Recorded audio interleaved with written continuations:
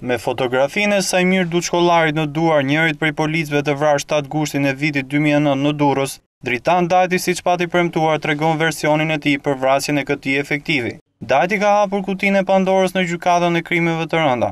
Siç pati paralajmëruar seancën e kaluar, ai do të fliste për vrasjen e Duçkollarit. dhe nuk ka zhgënjyer me atë çka deklaroi në sallën e gjyqit. Dajti akuzon se dëshmorin e atdheut Saimir Duçkollarin e ka qëlluar oficeri i policisë F. Gashi, i cili ishte pjesë e operacionit për arrestimin e tij.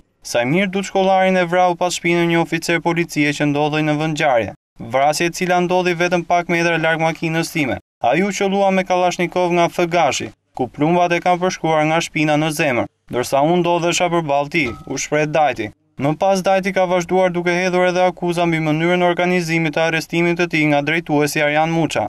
Saimir Duçkollari ishte i veshur civil dhe nuk ishte pjesë e operacionit për arrestimin tim. Këtë fakt e vërteton edhe plani i hartuar nga Arjan Muça, rrëfeu Dajti. ndërsa shtoi se Arjan Muça është i implikuar edhe në vrasjen e dy policëve të tjerë, ngjarje për të cilën premtoi se do të flasë në seancën tjetër. Kurse ekspertiza hedh poshtë pretendimet e të pandehurit, pasi oficerit të policisë Saimir Duçkollari i është gjetur një plumb në kokë që ka dalë nga arma e Dritan Dajtit. Seanca gjyqësore është mbyllur me largimin e Dajtit për shkak të mungesës së avokatit mbrojtës.